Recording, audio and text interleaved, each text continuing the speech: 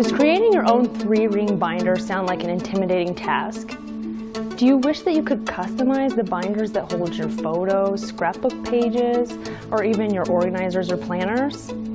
I'm going to show you today just how simple it is to create your own three-ring binder and even your own tab dividers and inserts.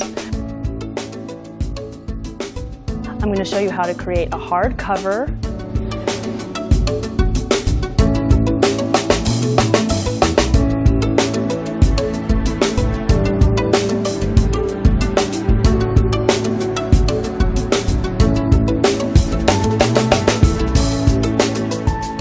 how to insert a three-ring binder mechanism.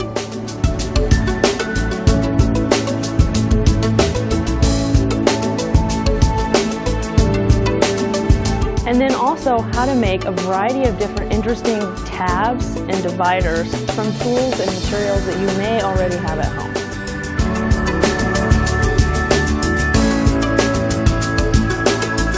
I'm Erin Zamrzla.